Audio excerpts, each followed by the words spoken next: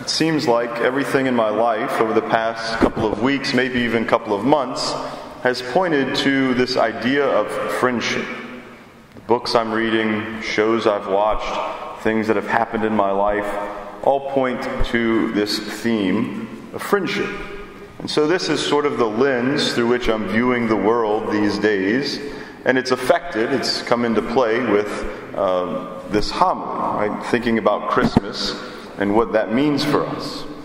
And so, in one way, I think that we can say that Christmas is uh, the coming of, of the Word of God among us, is the celebration of God's friendship with man, God becoming our friends. And so I want to discuss three qualities of friendship that we need to focus on that deal with our friendship with God. The first one, which is the quality of any good friendship, is that there has to be uh, a level of being open and honest with one another. That if I hold back something from a person who I call a friend, it's not a very good friendship. Right? A friend is someone we can confide in. A friend is someone that we can bring our troubles to. A friend is someone who would receive what we give, right? Keep it to themselves, not go blab it to everyone and to try to help us in that situation that we bring to Him.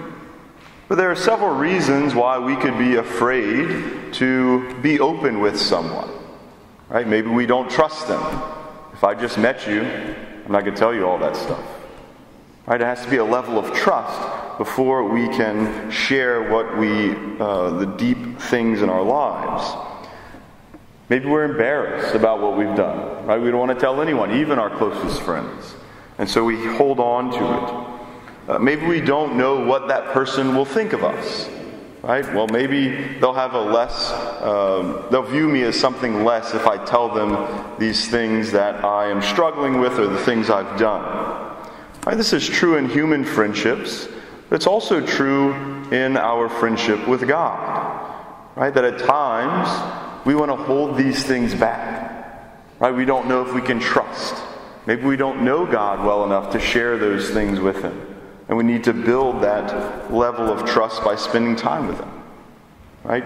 And God takes the initiative in this. Right? God shows us what it means to be open with someone.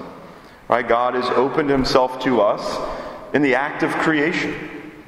Right? God, we say, is being itself. And so we didn't exist at one time. Right? We didn't have to exist.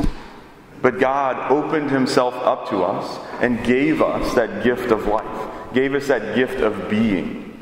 And so he opened himself up to us in that way.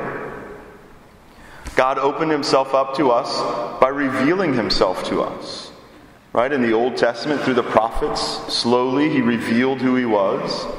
And in this day that we celebrate today, we say that God has revealed himself fully to us. Right? By sending his son, by showing us his face. Right? God has been open to us. He holds nothing back from us. He shows us everything. Right? St. John says that Jesus uh, told his followers that I call you friends because I have shown you, I've told you everything that I've received from the Father. And so, in this openness, God shows us to be His friends, and He invites us to be His friends in return by being open with Him. The second quality of a good friendship is that friends have a common interest. I don't remember a whole lot of what I read, so when I do remember something, I feel like it's pretty important. And as I was thinking about this, I was reminded of something that C.S. Lewis writes in his book called The Four Loves. He distinguishes the love between lovers and the love between friends, and he does it by saying that lovers stand facing each other. Right? They stand facing each other looking at the other person. Whereas friends stand side by side looking at some common thing. Right? Friends go together towards some common purpose or goal or interest. And the deeper the meaning of that common interest, the deeper the friendship can be. Right, in high school, I played baseball, at least I was on the team, and I had friends because we had that common interest of baseball.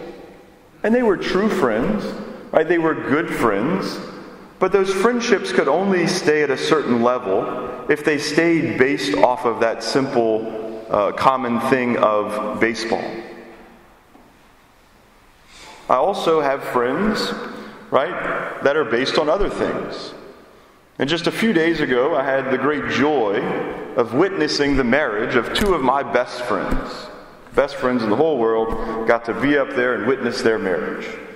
And at one point, I was just overwhelmed with the love that I had for these two people and the love they have for me. And so, over these last couple of days, I've been sort of thinking about why that is, right? What is it that makes our friendship so good? What is it that makes us so close? And the answer came to me in the form of a picture that one of them sent me. Was a picture from the wedding.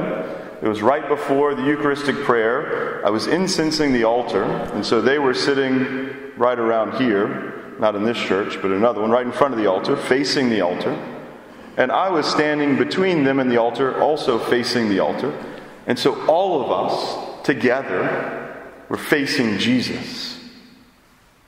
Right? That's what makes that friendship so real. That's what makes that friendship so deep. That we're standing side by side, facing the most wonderful, deepest, most powerful common interest there is. Right? God. And so we have that deep friendship. And then to take this to another level, as I was washing dishes in the house yesterday morning, two days ago, who's ever cried doing dishes? I started crying doing the dishes, and I'm not traditionally a crier. The first movie I cried in was because my brother punched me and I dropped my candy bar. Right? I was washing dishes and I started crying because I was thinking about this idea with Jesus. Right? Jesus calls us his friends. And so in this feast that we celebrate, Jesus comes to us to become our friends, to stand side by side with us, to look with us, and to guide us to the Father. This is what heaven is going to be. Right? Us gazing upon the face of God. That's amazing. And so we enter into that friendship with God by standing side by side with Jesus, making our way to our heavenly homeland. Right? Gazing upon the face of the Father and trying to do His will. Now, the third point, or the third uh, thing I want to speak of on friendship, is perhaps the most important, practically speaking. Right? Gazing upon the face of God, super important. We need to do it.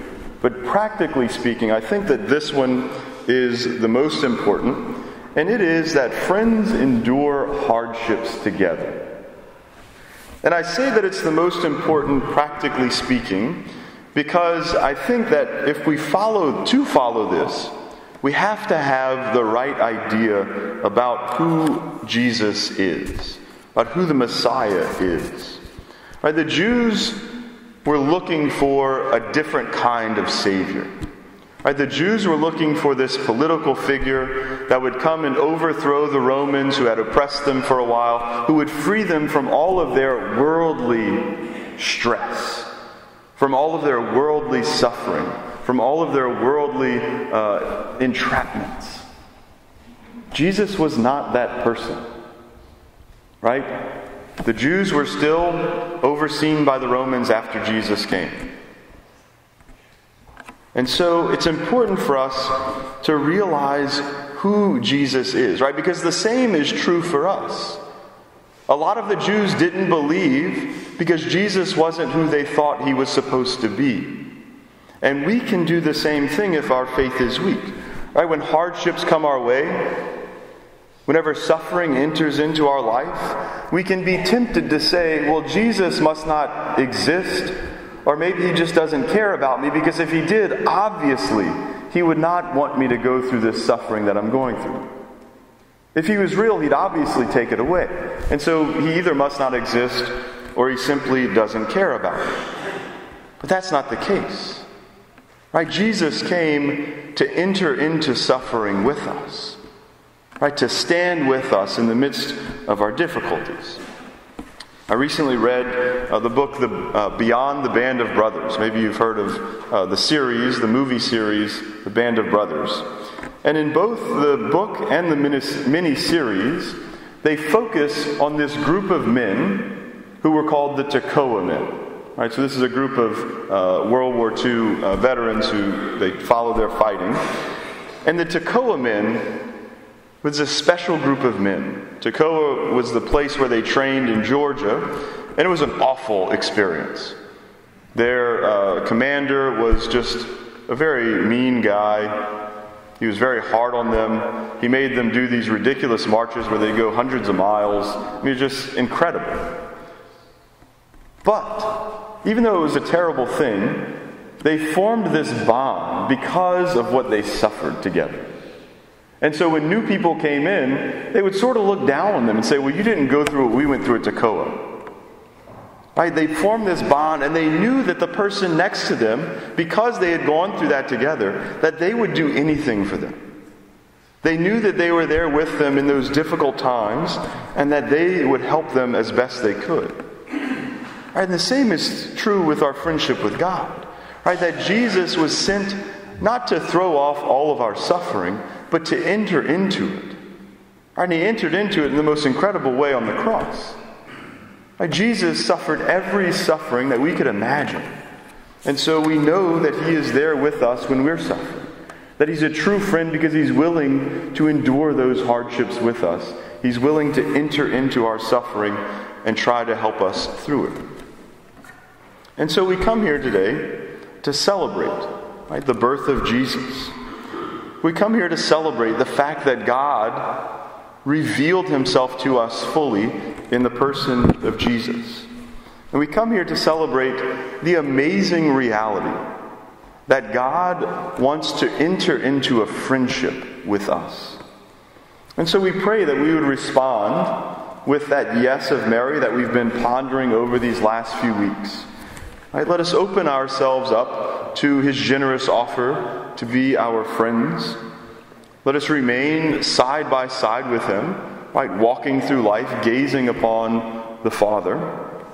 And let us call upon Jesus to be with us in our sufferings.